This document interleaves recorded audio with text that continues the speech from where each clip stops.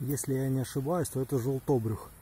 Либо какая-то супер крутая неизвестная мне анаконда. Она реально длиной как я. Эх, жалко я не на фотик. Ой, под ней аж ветки ломятся.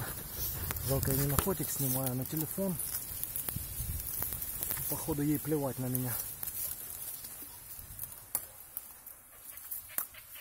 Вот такая красота водится у нас на озерце на Сипенковском. Это просто огромная палка колбасы. Ого, под ней аж ветки хрустят.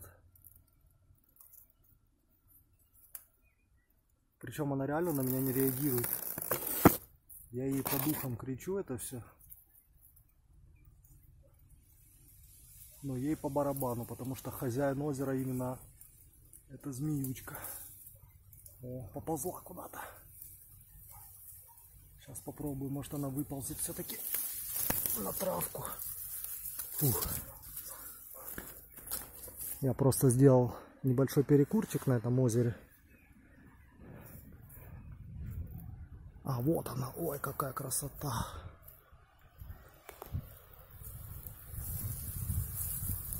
Ух. Такую с перепугу заметить нечаянно. Можно реально в штаны наложить.